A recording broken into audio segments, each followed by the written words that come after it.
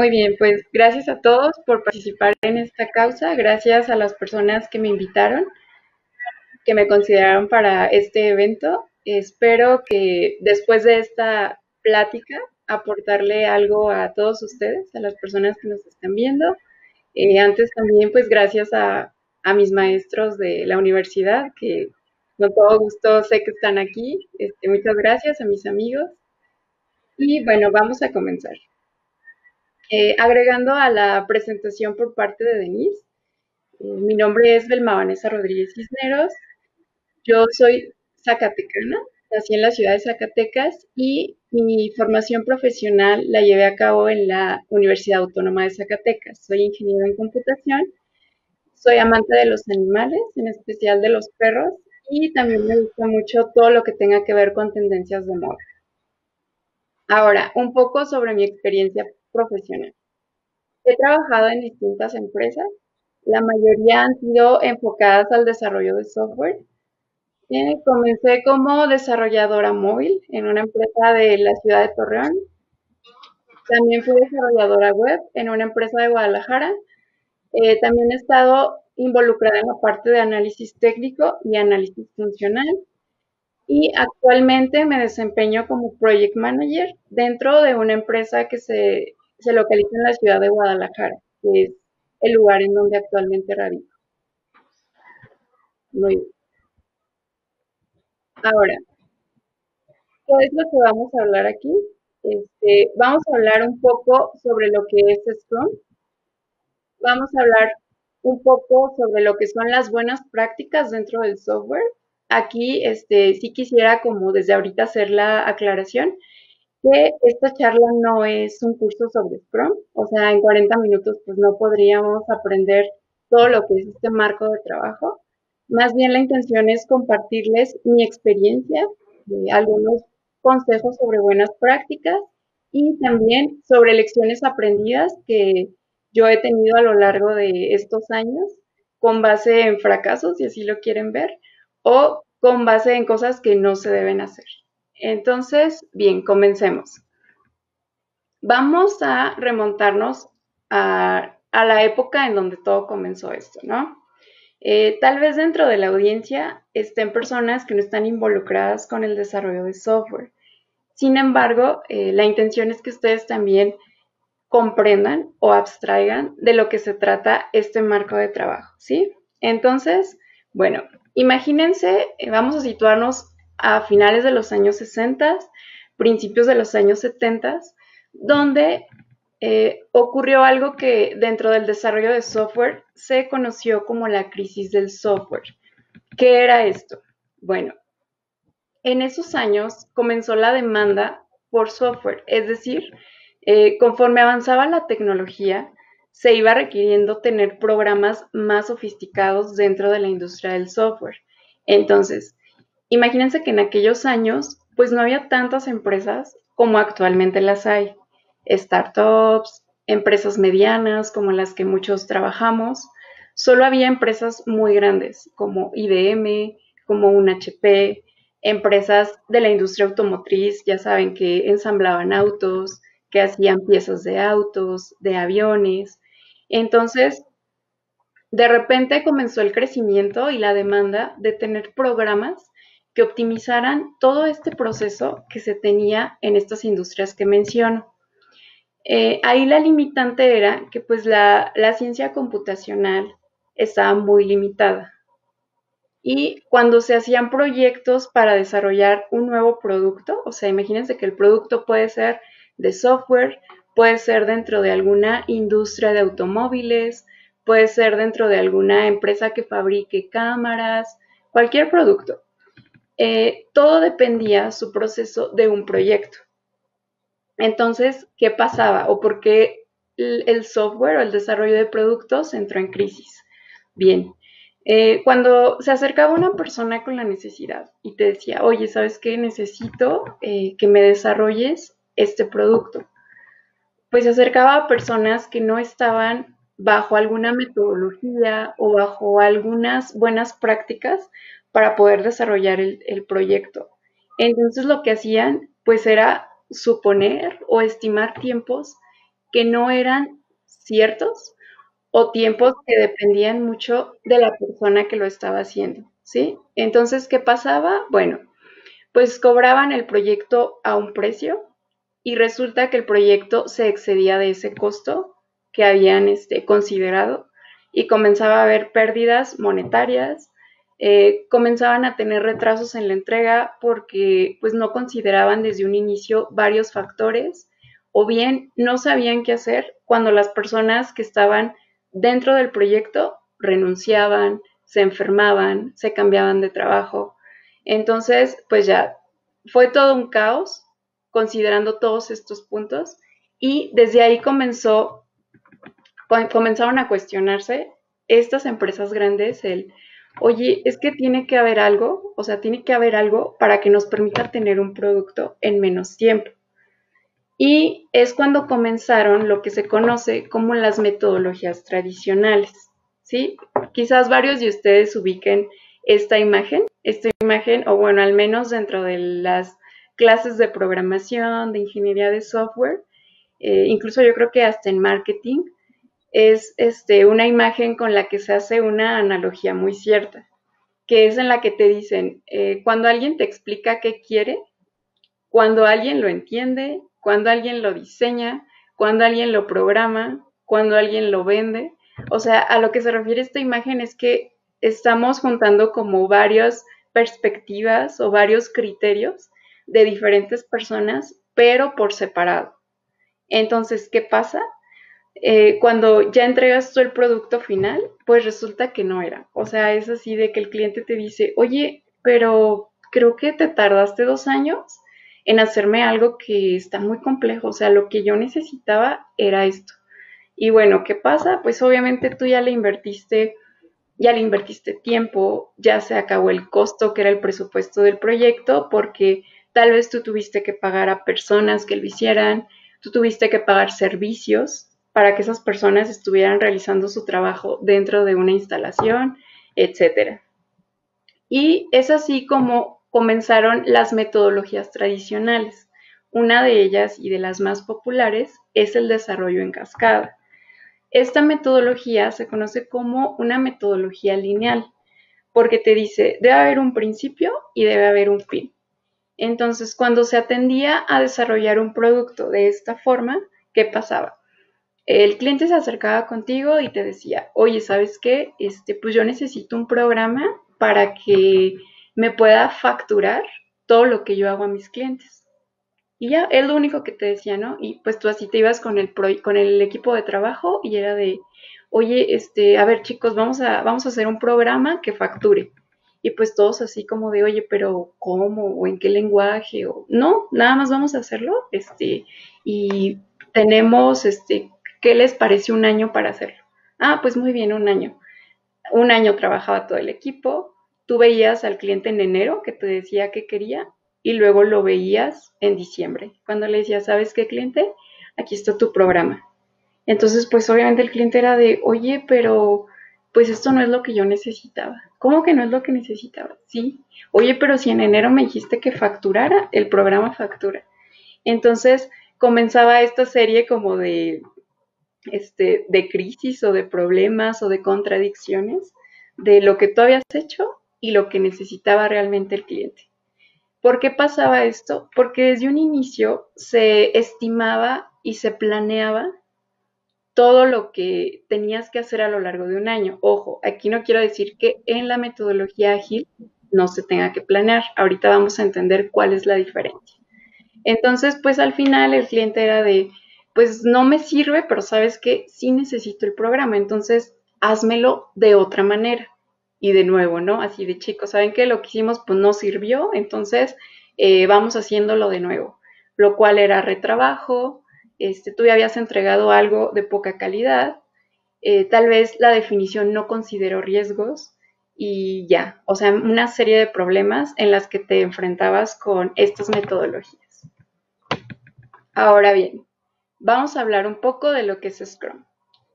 Eh, aquí primero que nada hay que hacer la diferencia. Scrum es un marco de trabajo. ¿Qué quiere decir?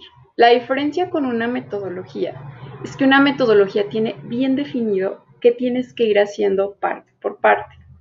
Scrum, en cambio, es un marco de trabajo de buenas prácticas, donde te dice, estas son las prácticas que sugerimos, tú tienes que ir adaptándolas a tu empresa, al desarrollo de tu producto, al desarrollo de tu software, etc. Entonces, bien, vamos a entender primero qué es un conjunto de buenas prácticas. ¿Para qué sirven estas prácticas o para qué se aconseja seguirlas? Bien, primero que nada, quizás a todos nos ha pasado trabajar en equipos. Creo desde la escuela estamos en este tema de que, ya saben, el que hace todo, el que no hace nada, el que pone solo su nombre en la presentación, este, el que compra las cocas y las abritas. Y pues al final eso no fue un trabajo en equipo eso fue como juntarse para que una persona trabaje. Entonces Scrum dice, no, es que para que tú tengas un resultado final con valor, lo que tienes que hacer es hacer que tu equipo sepa trabajar colaborativamente y a tu equipo hacerle entender que lo que tienen que obtener es un resultado con valor. ¿Sí?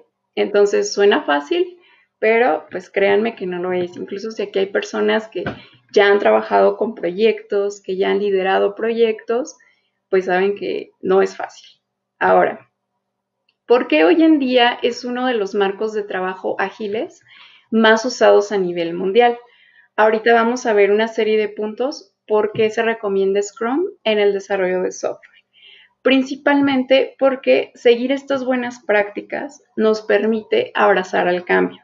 Es decir, si durante el proceso de desarrollo van surgiendo cambios, este, nos estamos dando cuenta de que hacerlo así no fue la mejor idea, ahí Scrum tiene la flexibilidad de que hagas pues esa, de, de, que cambies ese switch o de que en el momento en que lo estás haciendo digas, ¿sabes qué? Pues lo pensamos así, pero no es la mejor manera.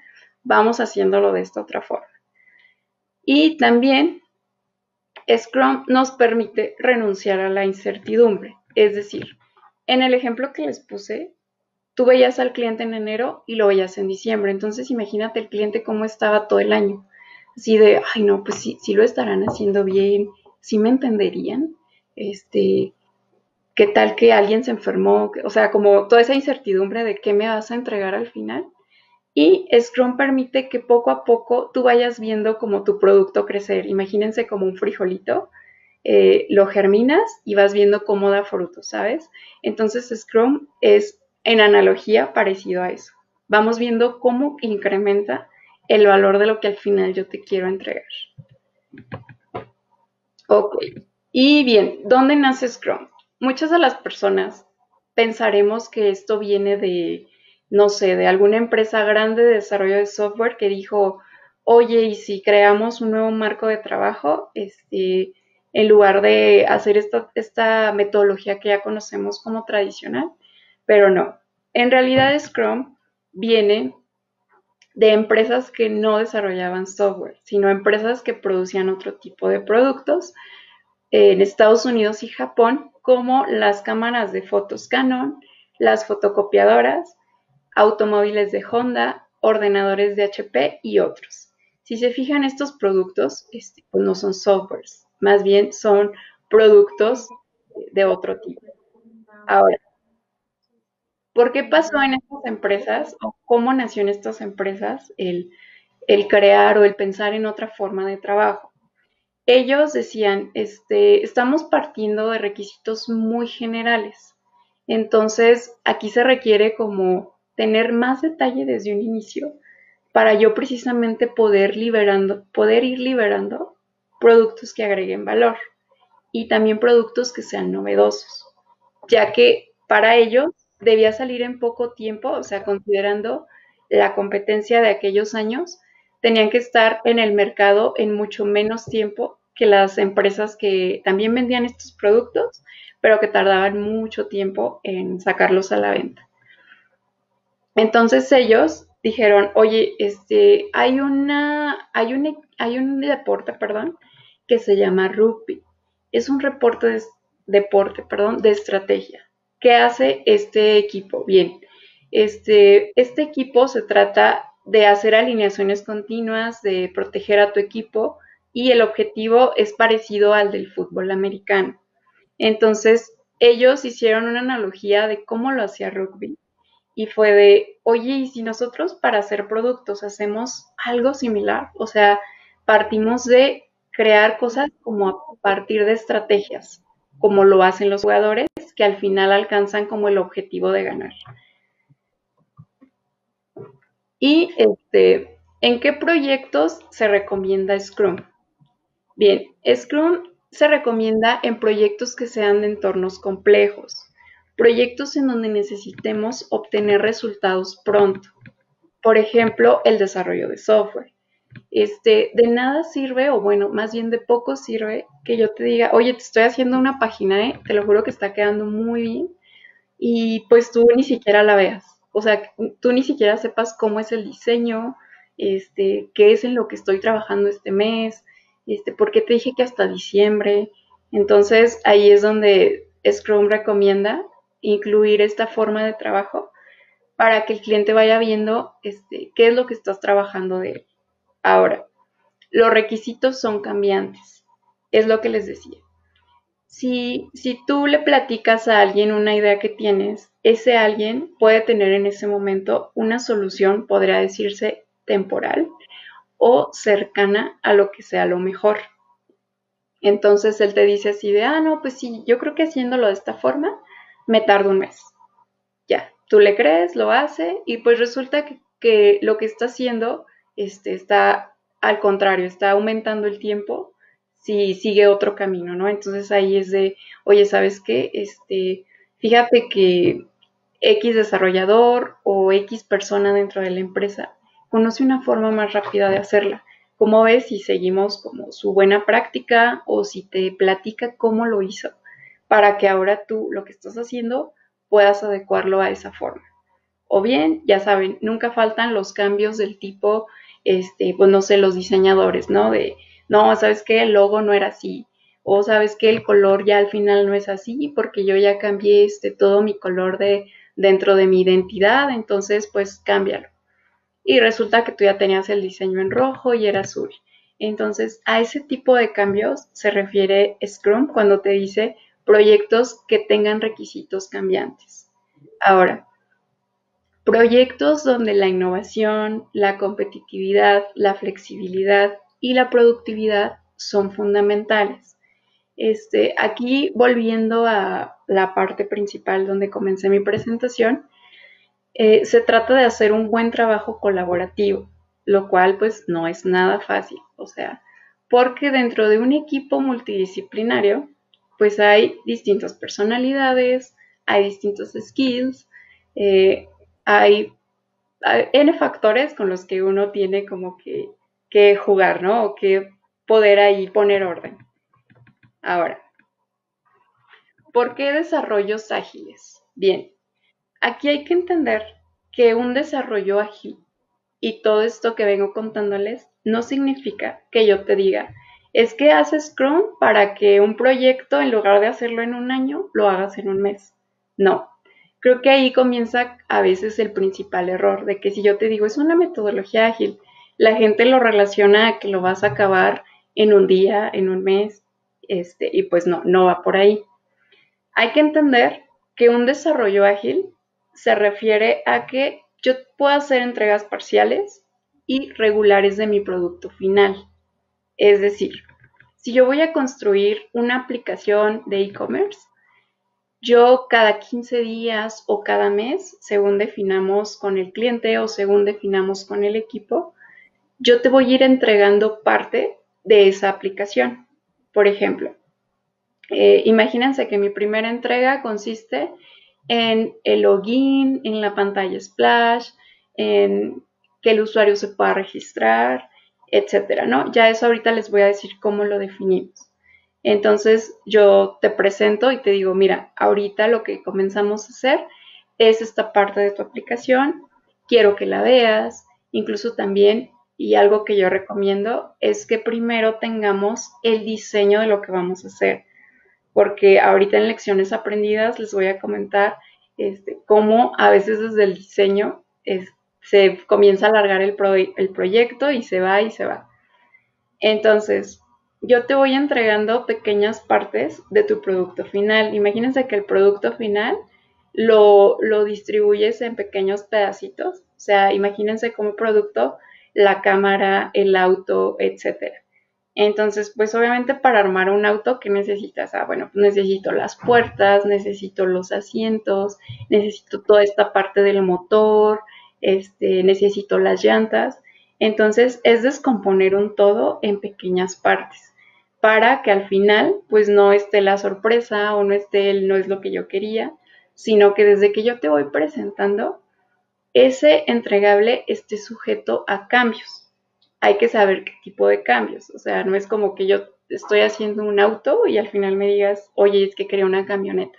No, cambios de este tipo, ¿no? De, sabes que este, el color, sabes que esta etiqueta creo que no se entiende qué quieres decir con este botón, este, etcétera. Ahora, ¿por qué se recomienda Scrum en el desarrollo? Hay una mayor participación del cliente. Por ejemplo, eh, al cliente tú lo involucras como parte del equipo, lo cual también créanme que no es fácil, sobre todo personas que son cero tecnológicas, con las cuales ya he tenido experiencia y pues es un poquito difícil el tratar de, este, oiga señor, nada más que fíjese que estamos usando Scrum y esto requiere que usted esté disponible para nosotros cada 15 días, este, yo me voy a traer la computadora y le voy a mostrar cómo va el proyecto. O sea, se los juro que más de un cliente pues nos han visto así como de no sé ni de qué me hablas, pero va. Este también cuando tú le dices al cliente, cliente, ya tengo una liberación parcial de tu, de tu producto. ¿Puedes este, hacer una prueba? Pues también el cliente es así de, mm, pues no sé de qué me hables, yo te pedí una página, pero a ver, explícame. Y ahí es donde el cliente se va metiendo más de, mira, este, descarga la aplicación, ve moviéndole, viendo el diseño, tú haz pruebas de cómo se ve en iPad, de cómo se ve en un iPhone, de cómo se ve, o sea, para que el cliente esté dentro pues del proyecto, ¿no? Desde esa parte de las entregas parciales. ¿Por qué se dice que Scrum es estrategia? Como les comenté, haciendo la analogía con el, con el deporte de rugby, este, es estrategia porque cada vez tú tienes que ir aprendiendo de los errores. Ahorita dentro de las ceremonias que se hacen en Scrum, voy a explicarles cómo es esto. Eh, dentro, de los, dentro, de los, dentro de los desarrollos de sprint, al final se hace una revisión de lecciones aprendidas, en donde el equipo reconoce qué hicimos bien, qué hicimos mal y qué podemos mejorar. Lo que hicimos mal se espera ya no volver a repetirlo al siguiente este, sprint que sigue. Entonces es de, a ver, esta vez que hicimos mal, no, pues sabes qué, este, creo que no nos funcionó tratar de contactar al cliente por teléfono, entonces eso nos alargó mucho el tiempo de, de cerrar pues este desarrollo. Entonces, ¿qué te parece si ahora pues tratamos ya de hacerle visitas presenciales? O bien, eh, ¿sabes qué? no nos, no nos funcionó bien el, hacer primero, no sé, el, el backend y luego hacer pruebas de eso. O sea, más bien yo creo que las pruebas hay que hacerlas al final. En el serie de escenarios son los que aquí juegan y a eso se refiere la estrategia, a ir aprendiendo de lo que no hicimos bien, de lo que podemos mejorar para que ahora lo que sigue, hacerlo cada vez mejor, ¿sí? Y estar aprendiendo pues constantemente de este, de este marco de trabajo. Ahora, encontrar juntos lo que necesitamos. Todos hemos escuchado el dos cabezas piensan mejor que una, ¿sí? Por ahí va también la metodología que nos sugiere el, el marco de trabajo de Scrum.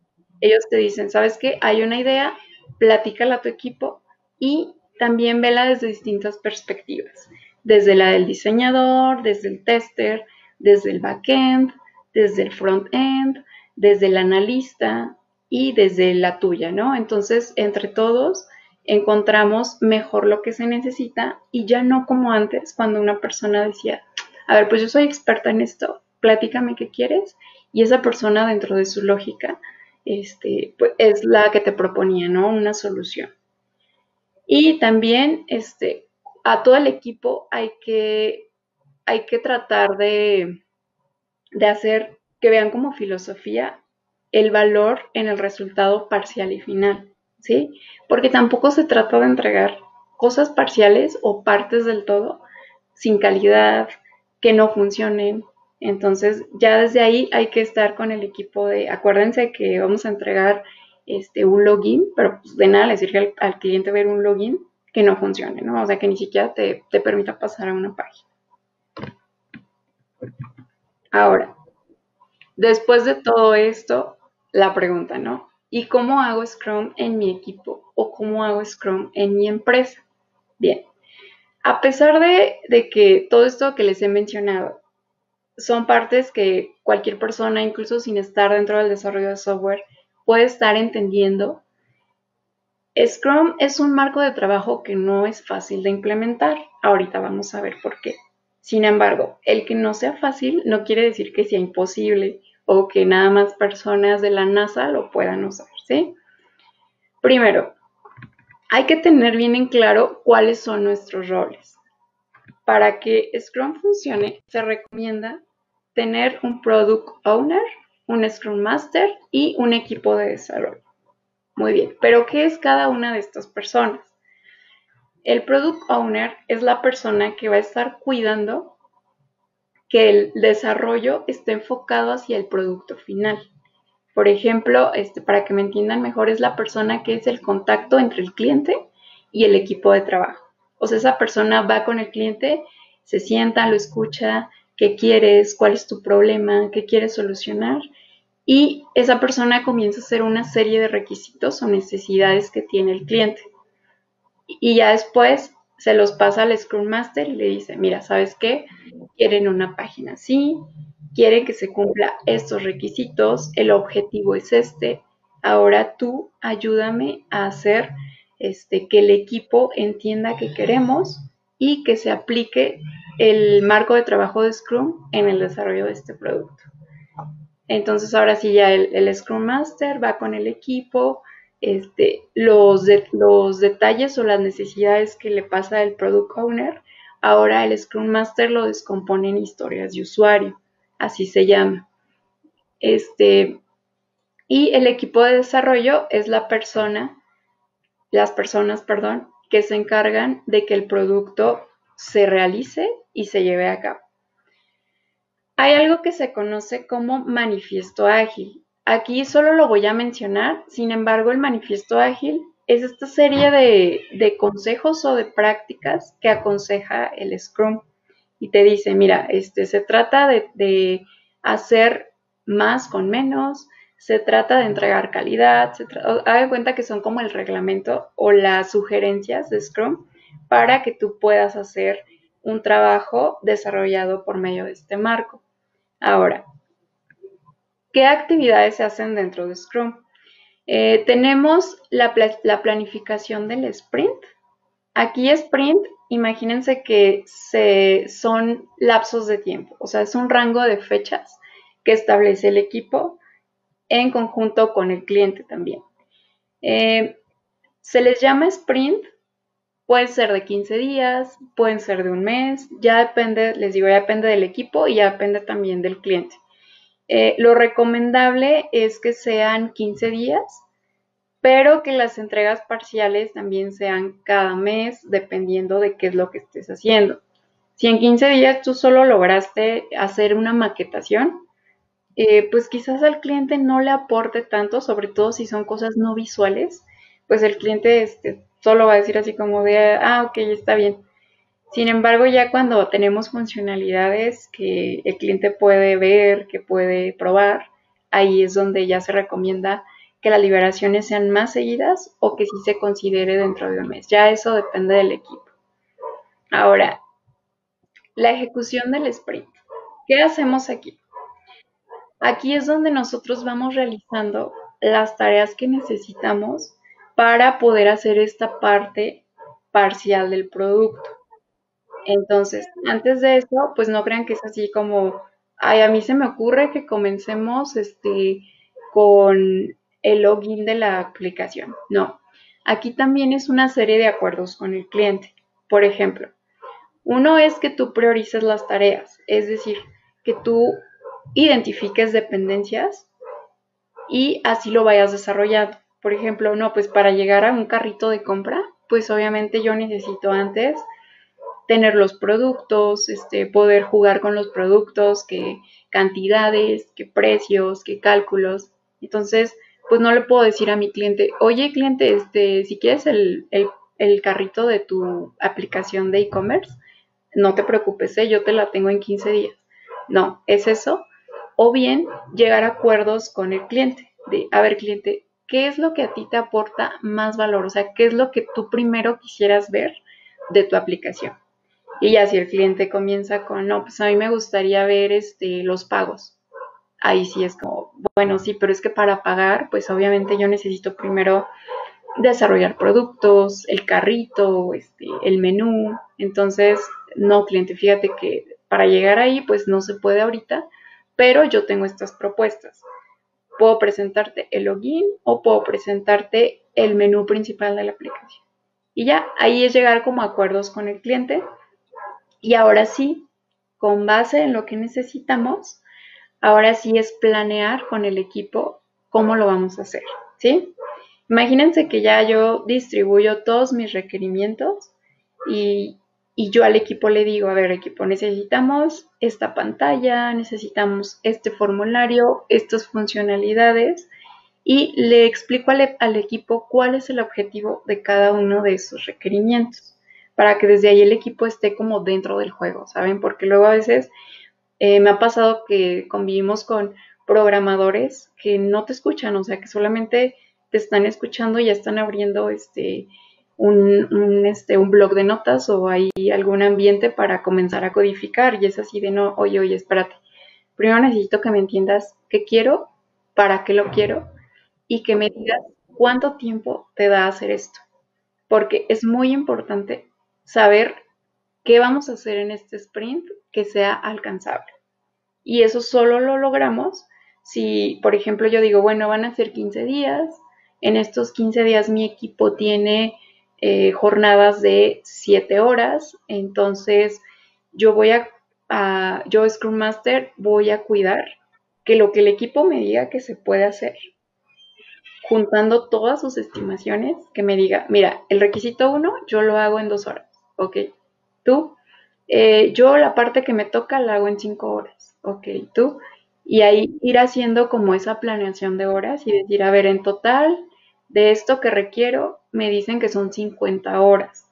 Yo en dos semanas, pues no tengo 50 horas, todavía tengo una holgura. Y ahí es donde comienzas como también con el equipo a negociar de, a ver, este, qué otra cosa podemos incluir dentro de este sprint de trabajo.